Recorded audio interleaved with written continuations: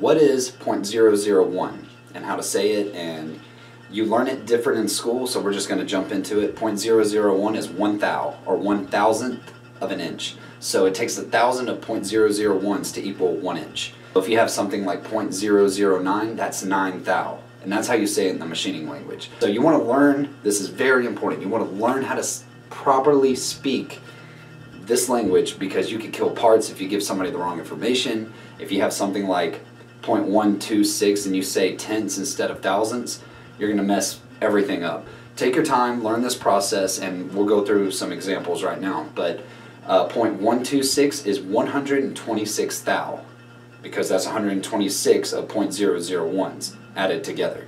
All right, now we're going to learn about tenths. Tenths is the number right after the 000. 0.1263 is 126 thou 3 tenths.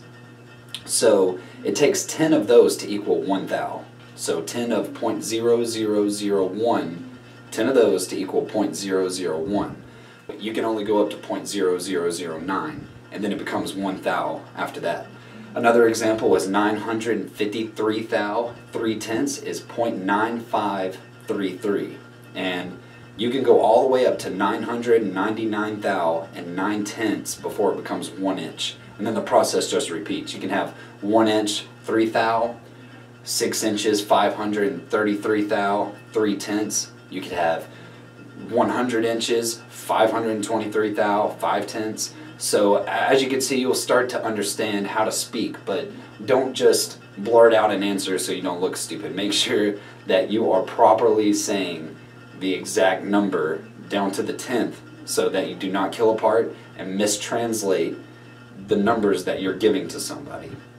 And that's it. Thank you for watching. Put in the comments if you have any questions and don't forget to subscribe for more videos.